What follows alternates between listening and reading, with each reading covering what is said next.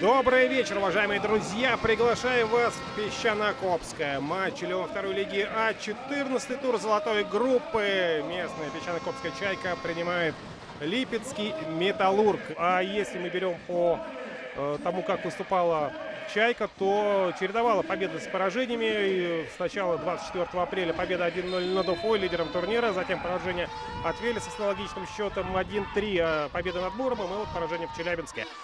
Аут.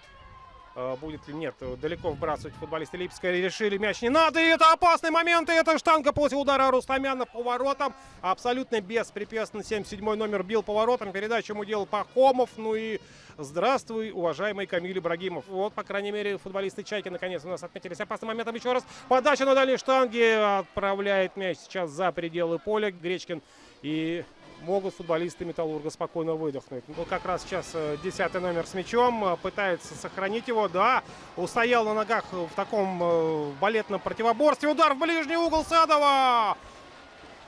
Да, да, это сейчас немного неприятно было для футболистов Металлурга, равно как и начало встречи, самые результативные игровые отрезки у хозяев поля сегодняшнего матча. Это, между прочим, может оказаться опасная атака. Казаченко тащит мяч вперед, пошире Садов открылся. Ну, что будет? Удар Садова. Удар по воротам. Мяч с ленточки буквально вынимается сейчас подключившимся защитником.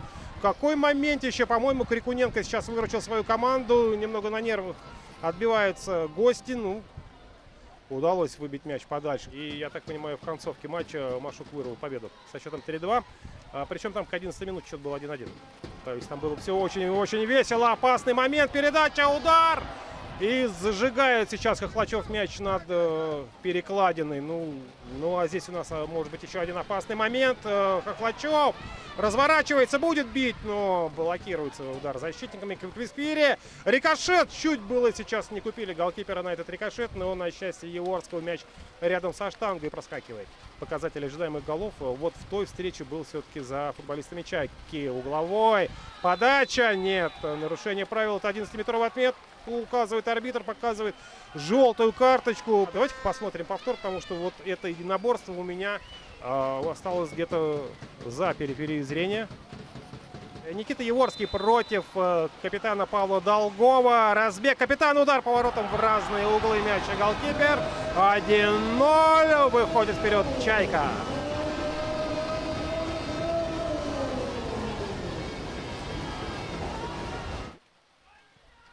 Далеко Москвичев выбивает его. И удар по воротам. Чуть его. Так, вот давайте обратим внимание, уже не первый, не второй, и, по-моему, раз в третий как минимум футболисты Чайки бьют по воротам. И показывает сейчас, что Заребеков может вернуться в игру.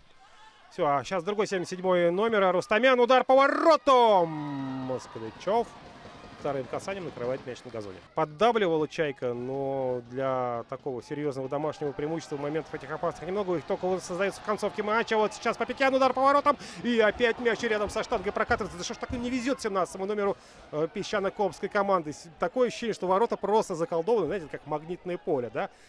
И тут немного засудившиеся футболисты потеряли мяч. Еворский, против него Попекян. А Еворскому отыгрывать некуда, некуда. Попекян успеет до мяча добежать. Пустые ворота, и на пустые ворота набегает 17 номер. Отдает... Э, и это скорбное молчание. Потому что то, что сейчас сделал Павел Долгов, это называется «я видел гол э, уже ну, где-то там» сделал ему Попекян э, эту передачу. На, пожалуйста, делай счет 2-0, завершай все в этой игре. Ну вот сейчас Долгов пытается исправить. И вот тут он был гораздо ближе, по-моему, к взятию ворот, чем э, в предыдущем эпизоде. Ну, в параллельной с нами игре, где Ротор играет с Краснодаром 0-0, а у нас э, минимальная победа Чайки со счетом 1-0. Напоминаю, что единственный мяч э, забил на 62-й минуте с пенальти. Интересно, как не промахнулся капитан команды э, Павел Долгов. На этом все. Вместе с вами матч смотрел Дмитрий Сухинин. Спасибо за внимание. До новых встреч.